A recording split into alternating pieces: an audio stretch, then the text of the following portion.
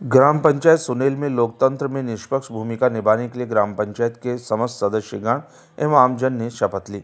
सरपंच प्रतिनिधि कमल जयपुरी ने बताया कि आने वाले लोकसभा चुनाव में सभी लोकतंत्र में अपनी भूमिका निभाएँ और वोट देने ज़रूर जाएँ, अपने पोलिंग बूथ पर पहुँचे।